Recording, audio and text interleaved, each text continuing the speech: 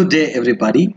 My name is Akhil ET from the Department of Hospitality Science, and today we are going to study about an- another important topic that is known as interdepartmental relationships.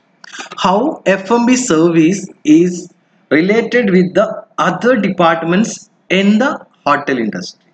Okay, maybe there are plenty of departments are there. We have taken very few from out of it, and we are going to study about it. How uh, our F&B service department or interdepartmentally relationship is been uh, taken care. That is what we are going to see. Or what is the importance of this interdepartmental relationship between an, another uh, department? so that is what the first one so let's see different department and how these relationships are important or how these relationships are being taken care so the first department we are going to take as a core department you know that front office department. So front office department you know that front office people are taking care of the reservation registration all these works right? And uh, uh, i mean uh, welcoming the guest all this.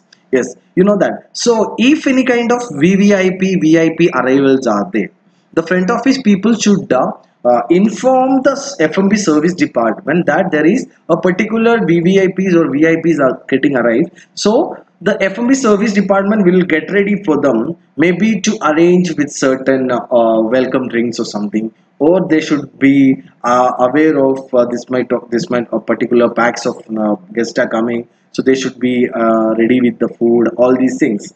So that is the reason. So they should have a proper contact next is restaurant bills of in-house guests. Yes.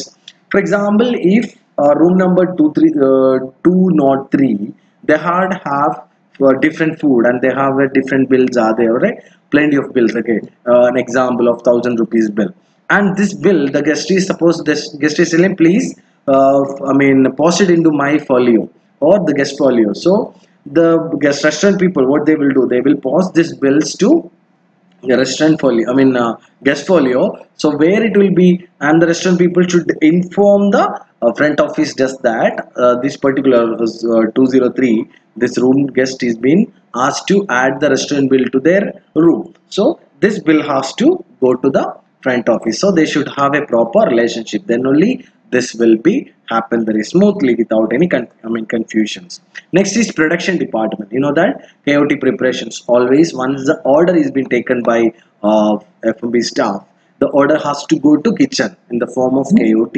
Yes, kitchen order ticket. Yes. So this KOT have to go to kitchen and kitchen has to prepare this by looking the KOT. So there should be a proper communication.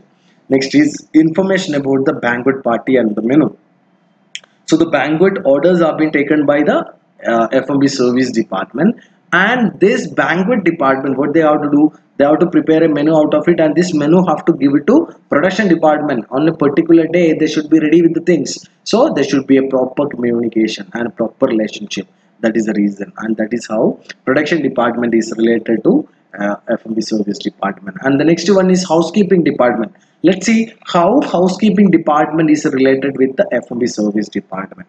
For regular cleaning as you know that there is restaurant there is a banquet halls there is uh, in rooms there is many things are there in an F&B service department. So these uh, outlets are being cleaned enough. So who will clean this? This cleaning task is being taken care by housekeeping department so the F&B service department should make sure that the areas of them is being cleared or they are cleaning it very good. So housekeeping department they should inform this to the housekeeping. For example a glass is being broken on the floor and the floor have to be mopped so they should immediately inform the housekeeping department and they will come and clear that and clean it off and go.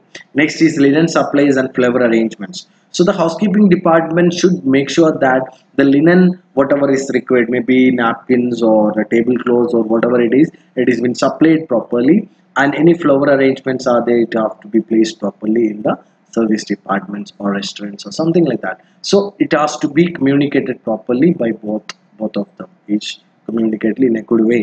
So that is what housekeeping department uh, relationship.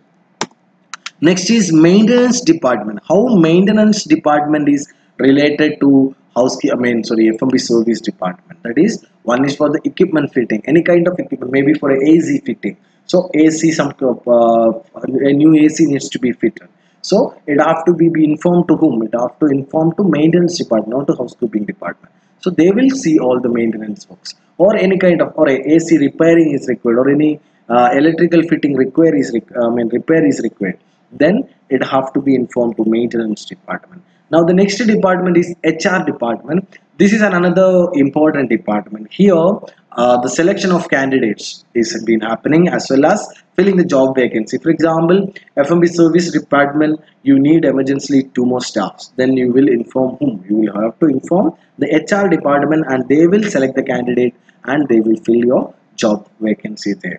Next is the kitchen stewarding department. Here kitchen steward means the people or the department which is taking care of the kitchen fully the cleaning areas and that is a thorough regular cleaning have to be done. Then lifting of heavy equipments and they have to make sure that any uh, crockery or any, any type of equipments are being broken. This blockage reports they have to prepare all those things. Rather than this there are many more other department maybe uh, security department. So security department have to be uh, clearly they have, have a proper relationship because if anything is come okay maybe uh, some uh, ingredients have come or maybe some orders have come. Then it have to be informed to uh, main I mean uh, security department even key uh, when they need to go go out after locking it the key needs to submit in the security department or even clock rooms. All these things have to be seen. So there are uh, all these are related to the interdepartmental relationship between the F&B service department so that is what for the day and thank you so much